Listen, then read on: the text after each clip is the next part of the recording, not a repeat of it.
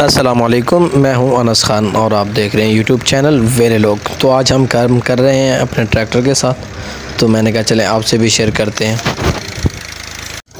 ये देखें, ये एक दुकानों के साथ मट्टी लगा रहे थे।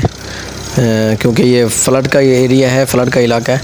तो इसलिए घर बनाए या दुकानें या कोई भी आप इमारत बनाते हैं तो उसके साथ आपको मट्टी ज़रूर लगाना होती है।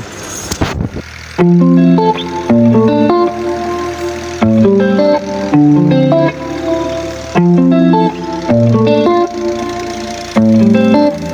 you